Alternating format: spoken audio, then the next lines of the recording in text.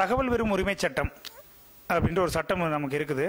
நிறைய பேர் அதை பயன்படுத்திட்டு இருக்கிறாங்க. இன்னும் நிறைய பேருக்கு அதை பயன்படுத்துறதுல இருக்க சந்தேகங்கள் நிறையா நிறைய இருக்குது. நம்ம அதை பற்றி கொஞ்சம் சொல்கிறேன் இந்த தகவல் பெறும் உரிமை சட்டம் அப்படின்றது வந்து ரெண்டாயிரத்தி அஞ்சாவது வருஷத்தில் நம்ம இந்திய கவர்மெண்ட் வந்து இதை கொண்டு வந்துச்சு. ரைட் டு இன்ஃபர்மேஷன் ஆக்ட் அப்படின்னு சொல்லுவாங்க. ஆர்டிஐ அப்படின்னு சொல்லுவாங்க.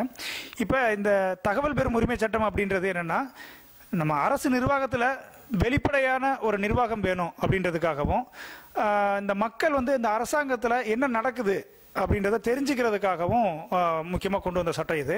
இது வந்து பார்க்க போனால் நம்ம சாதாரண மக்களுக்கு கிடைச்ச ஒரு மிகப்பெரிய ஒரு ஒரு கருவி. இந்த அரசாங்கத்தை கேள்வி கேட்கிறதுக்கும் தகவல்களை கேட்டு வாங்குறதுக்கும் ஒரு மிகப்பெரிய ஒரு கருவின்னு தான் சொல்லணும். இதை நிறைய பேர் வந்து சக்ஸஸ்ஃபுல்லாக பயன்படுத்தி நிறைய விஷயங்களை சாதிச்சிட்டு இருக்கிறாங்க. ஆனாலும் இந்த புதுசாக இந்த சட்டத்தை பயன்படுத்துகிறவங்களுக்கு நிறைய சந்தேகங்களும் சிக்கல்களும் இருக்கிறத நமக்கு பார்க்க முடியுது. குறிப்பாக இது ரொம்ப சுலபமான ஒரு விஷயம் தான் என்னென்னு பார்த்தீங்கன்னா இந்த தகவல் விரும்பும் உரிமை சட்டத்தின்படி நீங்கள் ஒரு தகவல்களை கேட்டு ஒரு அரசு அலுவலகத்துக்கு நீங்கள் வந்து மனு போடுறீங்க அப்படின்னா அதுக்கு செலவு பண்ண வேண்டியது பத்தே பத்து ரூபாய் தான் சாதாரணமாக இதில் முக்கியமாக இன்னொன்று தகவல்களாக கேட்டு வாங்க முடியும். தகவல் பெரும் உரிமை சட்டம் தான் அதில் நீங்கள் வந்து எஸ்ஆர்னோ டைப் டைப்பில் வந்து கொஸ்டின் கேட்க முடியாது. ஏன் நீங்கள் வந்து இதை செய்யலை? இதை ஏன் செஞ்சுருக்கக்கூடாது அப்படின்ற மாதிரியெல்லாம் நீங்கள் அதில் கேட்க முடியாது. உங்ககிட்ட அவங்கக்கிட்ட இருக்கிற தகவலை வெவ்வேறு வடிவங்களில் நம்ம கேட்டு வாங்கிக்கலாம். அவ்வளோதான் செய்ய முடியும். இதுக்கு நீங்கள் ஒரு பேப்பர் எடுத்து அதில் ஃப்ரம் டூ எல்லாம் எழுதிக்கிறீங்க.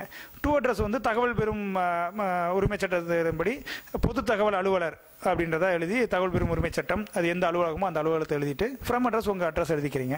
என்னென்ன தகவல்கள் வேணுமோ என்ன ஃபார்மெட்டில் வேணுமோ அதை தெளிவாக கே கேட்குறீங்க கேட்டுட்டு ஒரு பத்து ரூபாய்க்கு நீதிமன்ற வில்லைன்னு சொல்லுவாங்க கோர்ட் ஃபீஸ் ஸ்டாம்பு அதை அந்த ம- மனுவோட ஒட்டி அதை ஒரு பதிவு தபாலில் அனுப்பிச்சி வச்சிடணும்.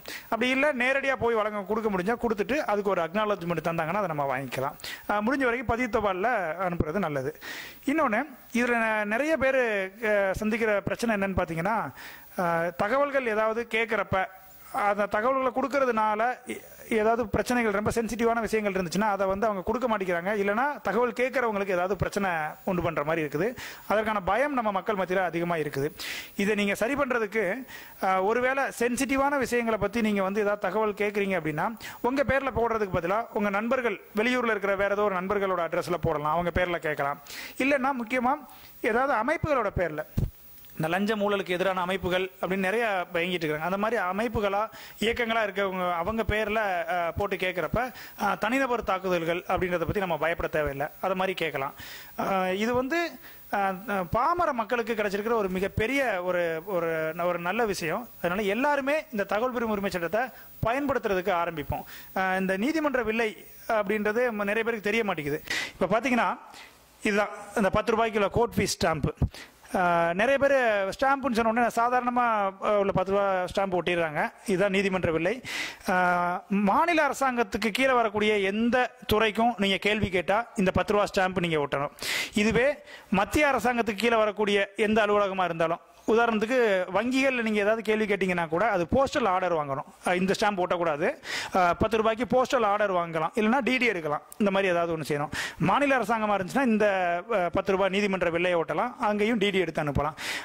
இந்த மாதிரி பேசிக்காக முதல்ல நீங்கள் வந்து ஏதாவது ஒரு தகவல்களை சில துறைகளுக்கு கேட்டு வாங்கி ப்ராக்டிஸ் பண்ணுங்கள் அப்புறமா உங்களுக்கே அதில் இருக்கக்கூடிய பிரச்சனைகள் ஏதாவது தெரிய வந்துச்சுன்னா இன்னும் அதிகமான தகவல்கள் நாங்கள் இதில் பதிவிடுறோம். தெரிஞ்சுக்கலாம். இப்போ மத்திய அரசாங்கம் வந்து ஆன்லைன்லேயே நம்ம தகவல்களை கேட்டு பெறுறதுக்கு ப்ரொவிஷன்ஸ் வச்சுருக்கிறாங்க. ஆனால் மாநில அரசாங்கத்தோட துறைகளில் ஆன்லைனில் போட்டு தகவல்கள் வாங்குறதுக்கான ப்ரொவிஷன் இல்லை. அது நம்ம மேனுவலாக லெட்டர் போட்டு வாங்கணும்.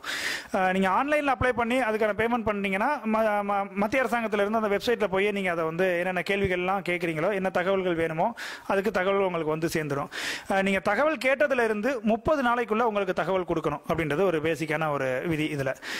அந்த முப்பது நாள் கழிச்சு உங்களுக்கு தகவல் வரலைன்னா அதுக்கு மேலே அப்பீல் பண்ணலாம். அது அதுக்கு ஒரு முப்பது நாள் கால அவகாசம் உண்டு.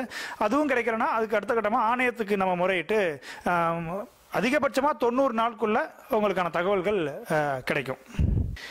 இப்போ நீங்கள் யாருக்கு இந்த தகவல்களை கேட்டு அனுப்புறது அப்படின்றதுல சில பேருக்கு சந்தேகங்கள் இருக்குது. இப்போ பார்த்தீங்கன்னா ஒரு ப ஒரு பஞ்சாயத்துலையோ இல்லை ஒரு நகராட்சியிலேயோ ஒரு தகவல் கேட்டு வாங்கணும் அப்படின்னா நீங்கள் வந்து அந்த பர்டிகுலர் பஞ்சாயத்துக்கோ நகராட்சிக்கோ தான் அனுப்பணுன்றது இல்லை உங்களுக்கு அட்ரஸ் தெரியலனா கூட ஒரு மாவட்ட ஆட்சித்தலைவருக்கு நீங்கள் போட்டுறீங்க அப்படின்னா கூட ஒன்றும் தப்பு இல்லை மாவட்ட ஆட்சித்தலைவருக்கு நீங்கள் போட்டால் கூட அவர் அது பர்டிகுலராக அது எந்த பஞ்சாயத்தில் வருதோ இல்லை எந்த நகராட்சியில் வருதோ அவங்களுக்கு அதை ஃபார்வேர்ட் பண்ணிடுவார். அவங்களுக்கு ஃபார்வேர்ட் பண்ண உடனே இவங்களுக்கும் என்னென்னா மாவட்ட க- ஆட்சித்தலைவர்கிட்ட இருந்து வந்திருக்குது ஃபார்வர்ட் ஆகி வந்திருக்குது. ஸோ முப்பது நாளுக்குள்ள இவங்களுக்கு நம்ம பதில் கொடுத்தாகணும் அப்படின்ற அந்த ஒரு பொறுப்பு இருக்க மாதிரி அவங்க ஃபீல் பண்ணுறாங்க அதனால் நீங்கள் டேரெக்டாக கலெக்டர் ஆஃபீஸுக்கு போட்டிங்கன்னா கூட அவங்களே அந்த குறிப்பிட்ட துறைக்கு அனுப்பிச்சு உங்களுக்கு தகவல்கள் கிடைக்கிறதுக்கு வழி செய்வாங்க. இப்போ நிறைய பேருக்கு அந்த தகவல் பெறும் உரிமை சட்டத்தை பயன்படுத்தி ஒரு முழுமையான மாற்றத்தை கொண்டு வர முடியுமா அப்படின்றதுல ஒரு சந்தேகம் இருக்குது. நமக்கு வந்து நம்ம கேட்ட தகவல்கள் முழுமையாக கிடைக்குதா? இல்லை அதனால் முழுமையாக நம்ம அதை பயன்படுத்திக்க முடியுதான்றதை தாண்டி முதல்ல எல்லாருமே கேட்க ஆரம்பிப்போம். நீங்கள் தகவல் பெறும் உரிமை சட்டத்தில் ஒரு மனு போட்டு உங்களுக்கு தகவல் வந்துச்சுனாலே அது உங்களுக்கு ஒரு பெரிய ஒரு நம்பிக்கை கிடைக்குது. நாமளும் அரசாங்கத்தை கேள்வி கேட்க முடியுது அரசாங்கம் நமக்கு பதில் சொல்லுது அப்படின்ற அந்த ஒரு ஒரு சந்தோஷம் உங்களுக்கு கிடைக்கும். முதல்ல எல்லாருமே கேள்வி கேட்க ஆரம்பிங்க. தகவல் சரியாக வருதா தப்பாக கிடைக்கிறாங்களான்றதை ரெண்டாவது பார்த்துக்கலாம். எல்லாருமே குறைஞ்சபட்சம் அவங்கவுங்க பஞ்சாயத்துகளில் கடந்த ஐந்து ஆண்டுகளில் என்னென்ன திட்டங்கள் செயல்படுத்தியிருக்கிறாங்க? அதுக்கு எவ்வளோ ஃபண்ட் அலாட் பண்ணாங்க? இன்னும் என்னென்னா அதில் இருக்க பிரச்சனைகள் என்ன? இப்படி எல்லாத்த பற்றி நீங்கள் கேட்க ஆரம்பிக்கிறப்ப உங்கள் பஞ்சாயத்துகளை உங்க உள்ளாட்சிகளை பற்றி முழுமையாக நீங்கள் தெரிஞ்சுக்கிறதுக்கு ஒரு வாய்ப்பாக இருக்கும். முதல்ல கேட்க ஆரம்பிங்க. நம்ம கேட்க ஆரம்பிக்கிறதன் மூலமாக ஒரு பெரிய மாற்றத்தை கொண்டு வர முடியும்.